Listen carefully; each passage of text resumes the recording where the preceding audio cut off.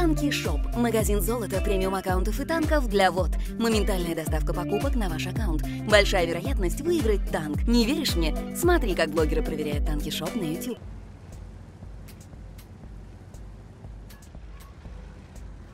Всем привет, дорогие друзья, с вами Маракайси. Сегодня я хотел бы поговорить о ПТ-САУ Grille 15. Давайте разберемся, стоит ли это Патасау прокачки и имбалансная ли она, стоит ее нерфить или же все-таки Grid 15 сейчас вполне сбалансированная машина, даже не верится, что я это говорю. Э, и э, вообще отлично вписывается в наш баланс. Грид 15 запланил просто рандом, практически в каждом бою есть там один грид, как минимум, а то и 2, 3 и даже 4, а может быть и больше. Этих ПТСАУ очень даже немало, а, и на то есть свои причины. Ну, хотя бы первая причина, это на гриде можно набивать очень много урона. Не всегда, конечно, то есть э, есть еще определенные трудности в применении этой ПТСАУ на некоторых картах. Хотя здесь все зависит, конечно же, от рук. Но все же в среднем грид 15 наносит очень даже немало урона. Даже в средних руках. И э, грид 15 сейчас занимает э, главенствующее положение среди всех танков на 10 уровне по урону. Это отчетливо видно, если зайти на сайт Вот Replays и отсортировать реплеи по урону.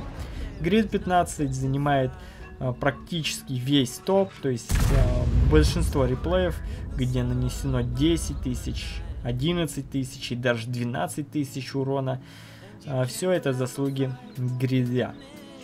И что же меня лично раздражает в гриде? Давайте начнем с его самых имбалансных сторон. Сведение полторы секунды. Если любую ПТСАУ 10 уровня можно, там, скажем так, на опыте развести на выстрел, она может теоретически промазать, там, например, на СТшке ты врываешься, маневрируешь, и а, ПТшка стреляет, попадает тебе в башню, если ты а, на каком-нибудь Т-62 она тебя не пробивает, или может быть рикошет какой-то происходит, или вообще не попадает, или в гуслю может угодить, то на то гриля развести на выстрел ну, практически нереально. То есть противник реально должен тупануть, э, совершить огромную ошибку, чтобы э, не нанести тебе урона. То есть э, э, гриль практически нереально просто так э, разводить на дамаг, потому как э, его сведение позволяет ему мгновенно практически сводиться и наносить тебе дэмэдж. Э, и при этом стоит отметить точность 0.27. На любой дистанции грид бьет э, точно в яблочко. Э, то есть ты можешь где-то там вдалеке маневрировать, там сражаться, у тебя торчит лючок один, и тут грид стреляет и попадает по тебе. Это, я считаю, несправедливо. Я считаю, что Grid 15 все-таки серьезно портит БТР и также скиллозависимость в нашей игре. А, потому что любой игрок, который старается действовать агрессивно, бодро, он часто получает от гриля при первой же ошибке. То есть чуть-чуть игрок высунулся, там чутка у него башня появилась, и сразу же гриль стреляет и при такой точности, при таком сведении, скорее всего, попадает, и игрок теряет огромную, э, в общем-то, прочность. И это жалко, в общем-то, и совершенно неправильно, я считаю. Потому что, э, ну, БТР, он наоборот должен награждаться. То есть ты действуешь агрессивно, э, грамотно и в первых рядах, и получаешь за это дополнительный опыт. Да, частично это компенсируется там тем, что ты светишь как бы врагов, по твоему засвету наносит урон, но э, чаще всего такие вот выезды заканчиваются сливами. А, и Грид 15 все-таки сильно вот эту вот БТРность убирает, так как он э, чаще всего попадает без каких-либо шансов на то, что враг избежит урона. При этом альфа у гриля просто чудовищная, 750. И это, э, я считаю, еще повезет, если такая альфа вылетит, потому что я замечаю, что по мне вылетает в основном там 800, 850 и даже 900 урона от гриля, не меньше э, 750 в основном.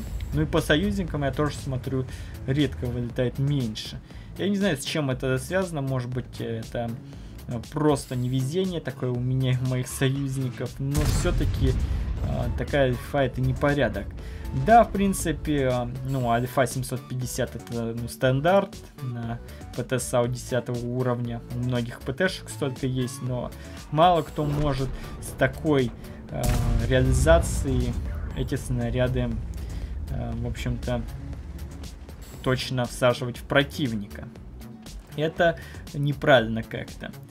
Пробитие 279 очень даже неплохое. Ну, кто-то скажет, что у многих ПТСАУ больше, но 279 это опять же такое пробитие, которое не дает опять же шансов вытанковать. То есть его практически всегда хватает для того, чтобы нанести урон. При этом стоит отметить нереальную скорость полета снаряда у гриля. То есть он на огромных дистанциях точно попадает тебе э, куда нужно, куда целился. И при, пробивает, конечно же. 334 голдой тоже чрезвычайно много. А, вы можете там на маусе, на E100 пробовать танковать а, башни, а тут вот эта вот фигня вас легко кумулем прошибет. В общем, по орудию все ясно. А, ну да, ДПМ 2730 урона. ДПМ тоже не маленький, весьма учитывая, что э, Грид в основном играет от альфы. И плюс ко всему стоит отметить неплохие УВН. Э, минус 8 градусов. То есть такое часто бывает, что ты где-то там внизу стоишь за рельефом, а грид высовывает свою башню и умудряется как-то выцелить тебя и за секунду буквально э, выцеливает тебя и наносит урон. Совершенно без шансов, э, что ты как-то там выживешь после этого. Но если выживешь, то потеряешь кучу прочности. А при этом всем грид обладает максимальной скоростью 60 километров и 20 назад.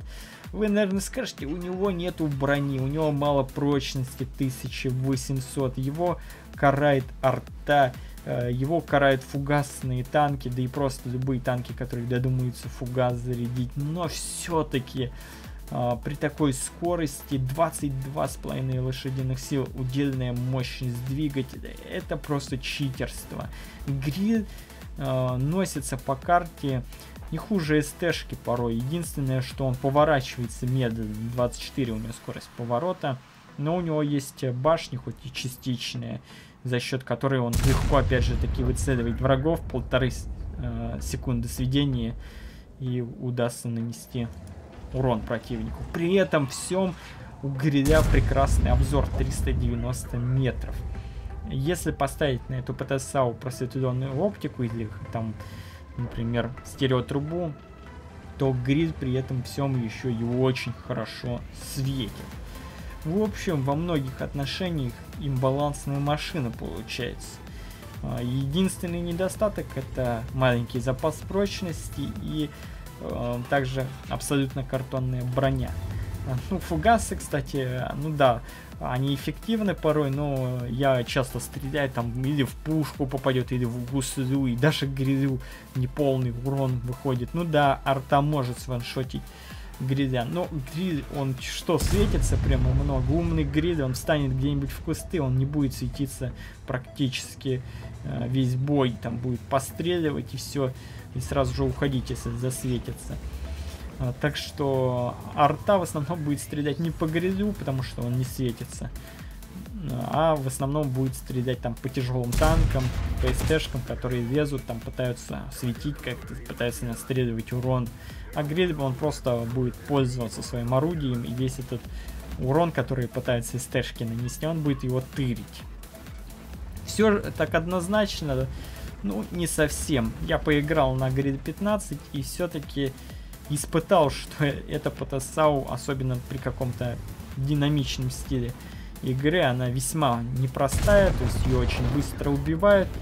Э, но, опять же таки, э, все-таки не об этом речь. То есть, да, Грид он уязвим, но э, он стоит чаще всего где-то в кустах, настреливает издалека и в основном старается не светиться. У него, конечно, не самая лучшая маскировка, но все же э, маскировка, ну, вполне приемлемая для таких габаритов.